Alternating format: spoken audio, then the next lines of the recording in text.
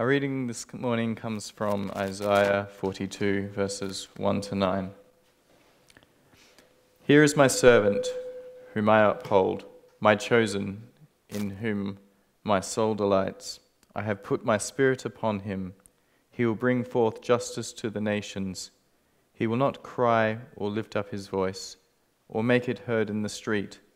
A bruised reed he will not break, and a dimly burning wick he will not quench. He will faithfully bring forth justice. He will not grow faint or be crushed until he has established justice in the earth, and the coastlands wait for his teaching. Thus says God the Lord, who created the heavens and stretched them out, who spread out the earth and what comes from it, who gives breath to the people upon it, and spirit to those who walk in it. I am the Lord. I have called you in righteousness. I have taken you by the hand and kept you. I have given you as a covenant to the people, a light to the nations, to open the eyes that are blind, to bring out the prisoners from the dungeon. From the prison, those who sit in the darkness, I am the Lord, that is my name. My glory I give to no other, nor my praise to idols. See, the former things have come to pass, and new things I now declare. Before they spring forth, I will tell you of them. And our second reading this morning comes from Matthew chapter 3. Then Jesus came from Galilee to John at the Jordan to be baptized by him. John would have prevented him, saying, I need to be baptized by you, and do you come to me? But Jesus answered him, Let it be so now, for it is proper for us in this way to fulfill all righteousness. Then he consented, and when Jesus had been baptized, just as he came up from the water, suddenly the heavens were opened to him. And he saw the Spirit of God descending like a dove and alighting on him. And a voice from heaven said, This is my Son, the Beloved with whom I am well pleased. So just imagine that I am John and you are the crowd by the River Jordan. I want to tell you something of my story. You know, I believe God had a very special part for me. My parents, you know who they were Zechariah and Elizabeth. They were very godly people and spent lots of time in and around the temple. But they had one very, very big sorrow. They were very old and they didn't have any children. It was a big sorrow, as I said, for them.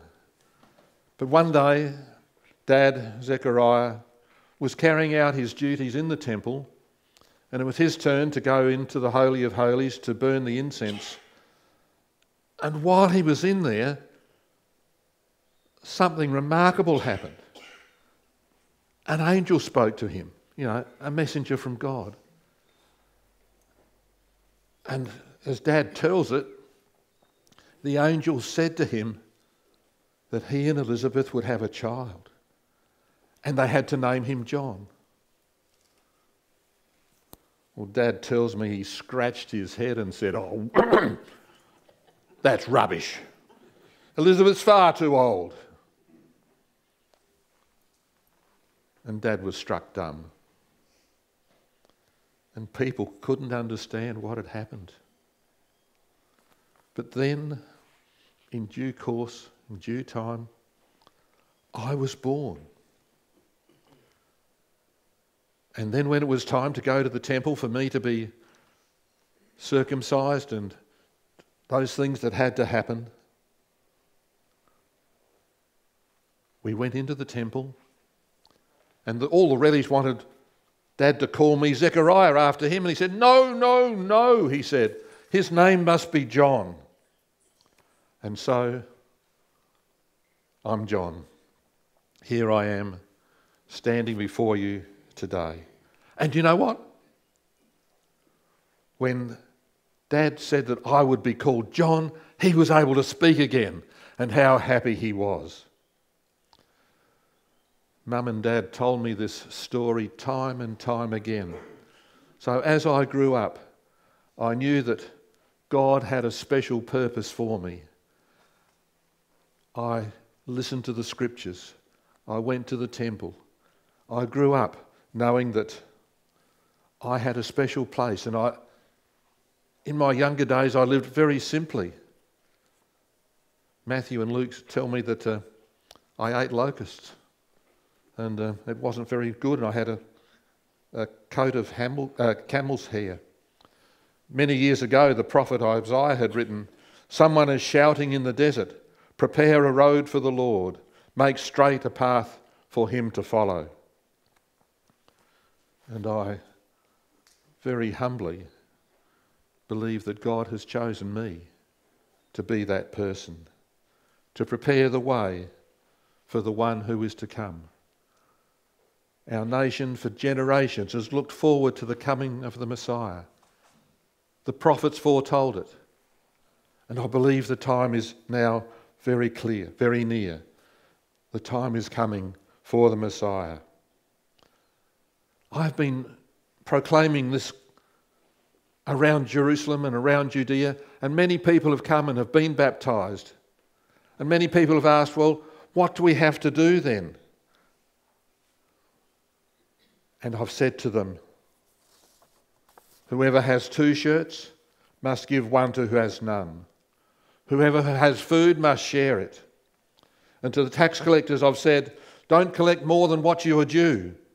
And to the soldiers, Don't take money from anyone by force and accuse anyone falsely. Be content with your pay.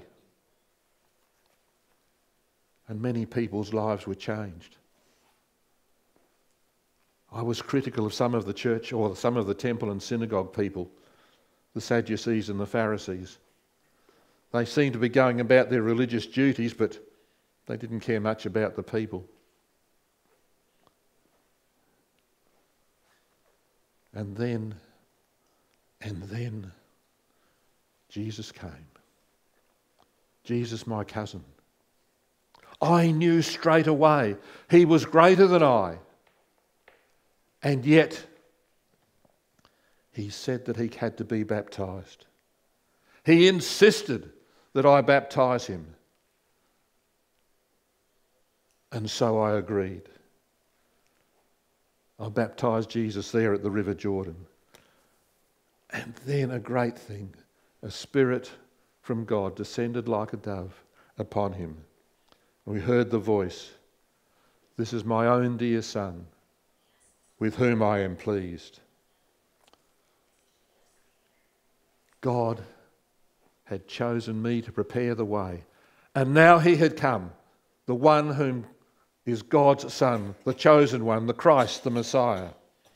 And after 40 days in the wilderness, Jesus then began his ministry.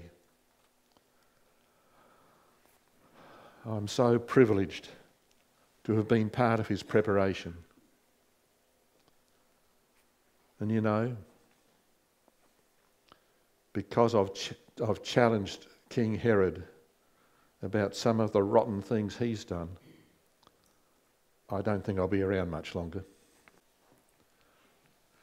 Live out your own baptism. Probably most of us were baptised when we were infants or children. Some have been baptized as teenagers, even later in life. And I'm sure you will remember your baptism. But most of us, probably all of us, have been involved in the baptism of our own children, our own grandchildren. How much do we appreciate the fact that we are baptized?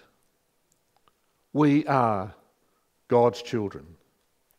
Live out your baptism every day.